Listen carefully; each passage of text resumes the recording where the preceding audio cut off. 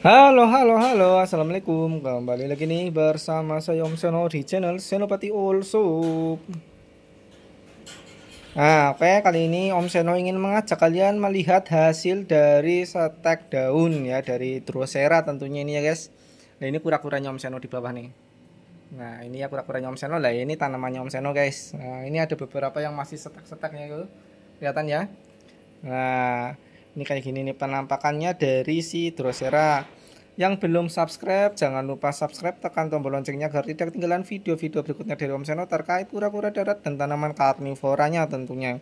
Yang kepo dengan koleksi tanaman karnivora Om Seno langsung saja klik link di deskripsi. Ada dari Tokopedia Senopati Shopee Senopati Karnivora. Nah ini penampakan dari si Drosera setek pada tanggal berapa ini guys pada tanggal 15 bulan Mei ya. Sekarang bulan 6 penampakannya gini sekarang bulan 6 tanggal 7 sekarang ya. Bulan 6 tanggal 7 apa tanggal 6 ini sekarang ya? Tanggal 7 kayaknya guys. Sekarang tanggal 7 ini penampakannya kayak gini kurang lebih udah berapa ya? Udah hampir setengah setengah bulan ya. Ya anggap saja dua minggu lah ya guys. Udah sekitar hampir dua minggu penampakannya kayak gini nih ini Om Seno pakai daun Drosera Adele ada 1 2 1 2 3 4 5 6 7 ya. Ada 8 ding ini, 8 yang udah mau kering nih, guys. Jadi pakai 8 daun. Hasilnya kayak gini ya, guys. Sangat bagus sekali hasilnya.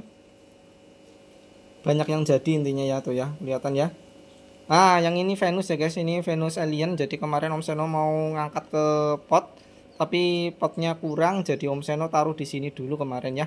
Potnya ada sebenarnya cuma males aja ke belakang kemarin. Jadi tak taruh di situ ya. Nah itu nggak masalah. Ini juga ya nih alien ini ya. VFT alien ukuran masih kecil ya ini ya. Ya ini ada purpurea juga. Kemarin Om Seno mau pindah purpurea. Purpureanya jenis heteropila ini ya. Nah ini kayak gini penampakannya dari si Drosera adelae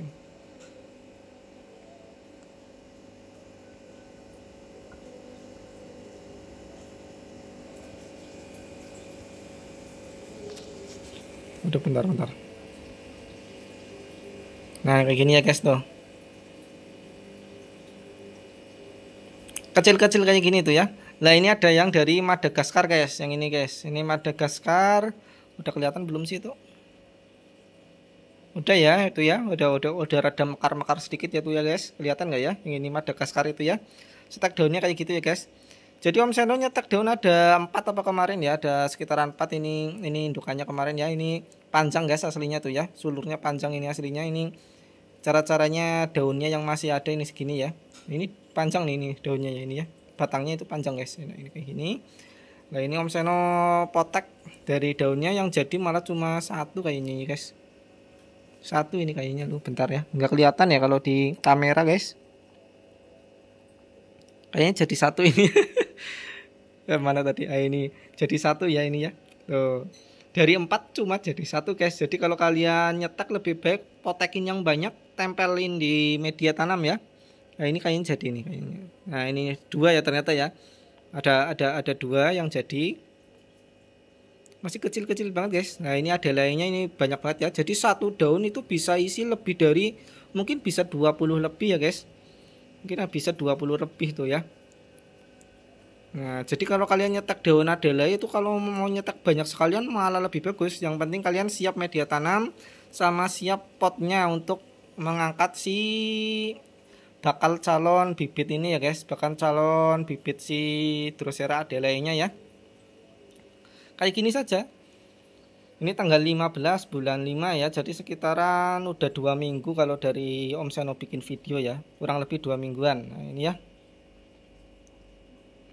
ini VFT alien tadi karena Om Seno kemarin udah mau misah ke pot tapi potnya kurang Om Seno harus ke belakang jadi nggak nggak mau ke belakang jadinya Om Seno taruh ke media ini saja yang kemarin ya. Jadi numpang di sini aja dulu intinya ya bukan karena Om Seno nyetak di sini bukan. Ini karena Om Seno numpang di sini dulu itu ada numpang berapa? Satu dua tiga empat lima ya. Ada lima umbi alien di sini ya penampakannya gitu lah ini yang Drosera binata guys Yang baru bergabung langsung saja tekan tombol subscribe-nya, tekan tombol loncengnya agar tidak ketinggalan video-video berikutnya dari Om Seno terkait tanaman karnivora dan kura-kura daratnya. Nah, ini Drosera binata ini jenisnya Giant dikotoma ya. Jadi bukan yang model tanduk rusa ya, ini yang model yang biasa yang bentuk hurufnya Y ya itu ya, Y kayak gini. Nah, ini kayak gini ya bentukannya ya. Kalau berhasil nyetak kayak gini guys. Ingat kalau menyetak drosera-drosera kayak gini wajib banget dibikin lembab media tanamnya. Lah ini drosera afinis guys. Om Seno nyetak drosera afinis ini ya di sini ya. Baru satu kayak ini yang keluar ya guys. Kayaknya satu deh. Jadi kemarin Om Seno iseng-iseng aja lah itu. Ini ini yang kering ya ini ya ini yang kering. Ini yang nggak kering ini keluar dua umbi satu dua ya. Kelihatan nggak? Kelihatan ya itu ya kelihatan kan? Nah itu ada dua umbi yang mau tumbuh. Nah ini satu jalur aja itu bisa 1, 2, 3, 4, 5, 6, 7, 8, 9, 10 Ada 10 umbi ya di situ ya. Tapi belum bisa diangkat ini umbinya ya. Nanti nunggu umbinya sudah ukuran kurang lebih ya 3 sentinan lah guys. 3 sampai 5 sentinan udah aman untuk dipindah ke pot ya. Nah ini contoh yang belum belum bentuk ya ini ya contohnya ini. Masih kayak titik tuh guys. Kelihatan nggak yang hijau-hijau ini? Itu masih kayak titik itu ya kelihatan ya. Itu nanti bakalan keluar jadi kayak daun guys. Jadi kayak gini nanti keluarnya tuh. Nah ini yang baru gentle-gentle gitu ya. Gentle-gentle gitu bentol-bentol itu itu nanti bakalan jadi umbi guys. Itu tanda-tanda kalau setekan kalian berhasil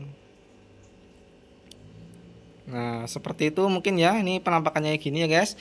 Nanti bentar lagi Om Seno mau panen biji nepentis. Jadi jangan lupa jangan sampai ketinggalan subscribe, tekan tombol loncengnya agar tidak ketinggalan video-video berikutnya di Om Seno agar tidak ketinggalan biji freshnya ya, guys. Nanti Om Seno bikinkan videonya saat pemanenan agar kalian lebih yakin saat membeli tempatnya Om Seno. Jaminan bijinya fresh nanti ya, guys. Yang pentingnya nyemainya benar, nyemainya nggak salah insya Allah bakalan berhasil 100% guys. Bakalan tumbuh ya.